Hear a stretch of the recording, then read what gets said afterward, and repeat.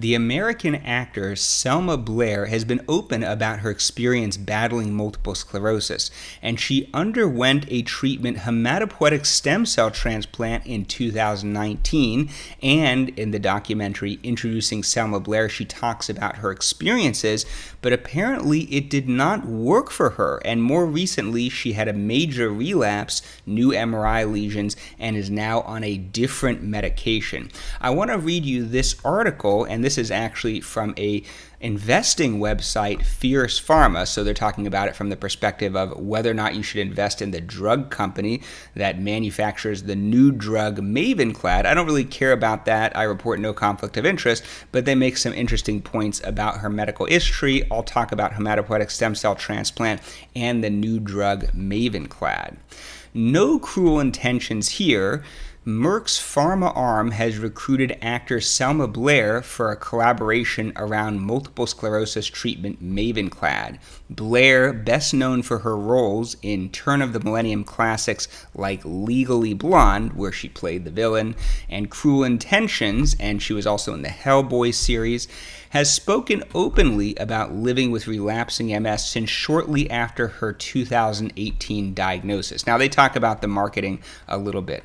Blair first began speaking about her positive experience with Mavenclad last summer in a video shared with Us Weekly in August. She first described how she underwent, quote, a major relapse after a 2019 bone marrow transplant. So, what is hematopoietic stem cell transplant for MS? Now, this is not actually a stem cell treatment despite the ambiguous name. We're not giving stem cells which could regrow nerve tissue. This it has been studied. There are experimental mesenchymal stem cell treatments for MS, unproven in my opinion. This is different. In this treatment, chemotherapy regimens are given which wipe out the immune system and sometimes reboot the immune system. And because we think MS is caused by lymphocytes, B and T cells that are confused and attacking the nervous system, sometimes this leads to long term remission and sometimes even dramatic improvement. It's a completely legitimate treatment. It's not necessarily that widely used because many doctors don't have a lot of experience with it. It has significant side effects like infections, anemia, hair loss, infertility, that kind of thing.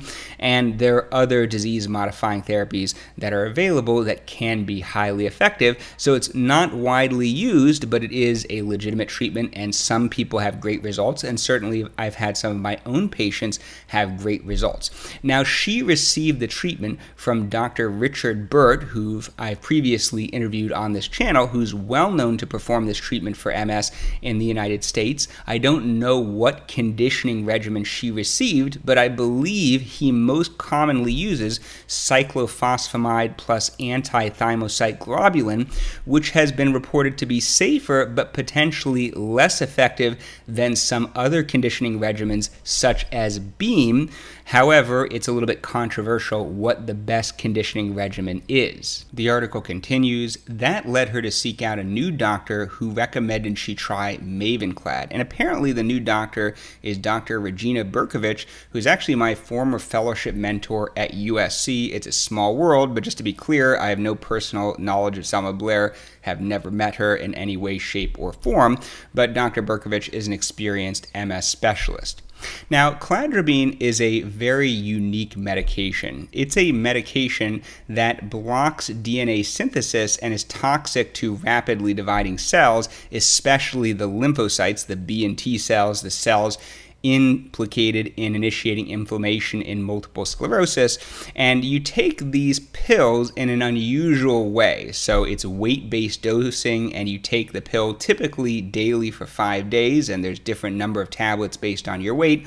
Then you do nothing for approximately 24 to 28 days, and then you take another series of five days of treatments, and then you do nothing for the rest of the year, and then the next year you complete a second course, again, two treatments roughly once a month for five days. And sometimes people can experience long term remission after that and may not need to take a third course, though they can if it's necessary or change to a different medication. So I think it's pretty clear that Selma Blair likes the idea of not having to see doctors indefinitely and take medication indefinitely. She's hoping to take something that will result in a long term remission such that she doesn't have to take ongoing treatment. I presume this was her motivation in addition to the recommendation of her doctor. Now let's take a closer look at Mavenclad. So Mavenclad is not as aggressive as hematopoietic stem cell transplant, but it does have side effects. The white blood cells drop and reach their nadir or lowest point about two to three months after taking the medication, but then they come back all the way to normal. It's an immunosuppressant. It can cause infections. It doesn't typically cause significant hair loss it can sometimes cause skin problems, and it's been reported to increase the risk of cancer, though in one study the risk was not dramatically increased in absolute terms. There are also a large number of potential drug-drug interactions with Mavenclad, such as with common medications like ibuprofen and gabapentin and various other medicines, so that can be a challenge in someone with multiple comorbidities. Let's look at some of the results of clinical trials. This is from the Clarity trial, Mavenclad versus placebo in relapsing MS, which is what Selma Blair reportedly has. They're looking at relapses. These are attacks that people with MS can get, such as having pain and vision loss in one eye, or numbness or weakness of an area of the body, or double vision, vertigo, or imbalance, which often develops over several days to weeks.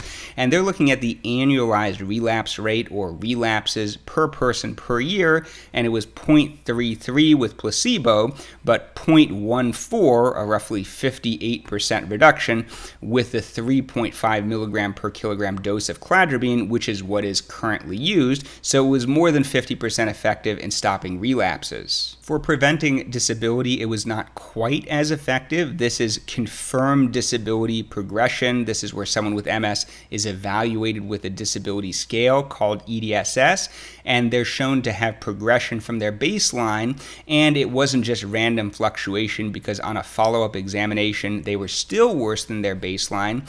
And you could see people with placebo, the blue line, acquire disability over time, but there's less accumulation of disability with cladribine by about 33%, though this was statistically significant p-value of 0.02. Let's look at some long-term data. This is a follow-up of the Clarity study, along with a few other trials with cladribine called Onward and Oracle MS over a five-year period, and around 60% were completely free of relapses, no relapses during the entire five-year period. In terms of preventing progression of disability, one of the three studies, the Oracle study, the green line, 80% were free of disability progression after five years, but for the other two studies, it was only around 50%, so half had at least some progression of disability over five years. Though the majority were still able to walk independently, this looks at people who had an EDSS, expanded disability status score, less than six, meaning that they were able to walk without a cane for at least 100 meters.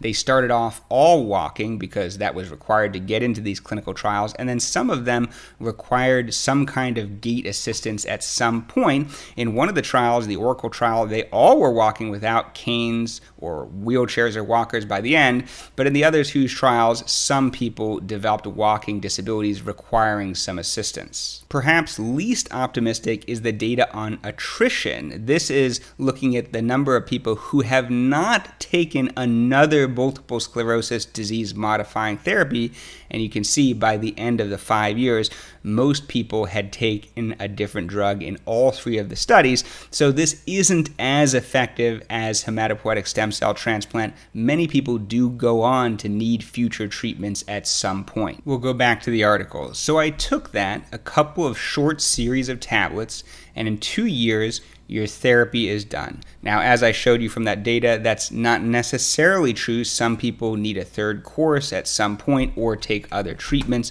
but hopefully it will work out for her. She said in the video, noting that she was in remission at that point. It's called Mavenclad, and I don't know anyone that's on it, and I wanted to let people know that that is what I take. And I think she's actually doing a significant service to the multiple sclerosis community. She is spreading awareness and making people aware of things. And I'd be interested to know your take on her potentially receiving compensation to do advertising for the drug company. Of course, it's perfectly legal. She continued, It's been amazing and it helped my movement and speech so much, and it's allowed me to have a great summer. A few months later, Blair attended a Hollywood event without the aid of a cane or service dog. Now, in the past, there are a lot of videos of her walking with assistance with a cane.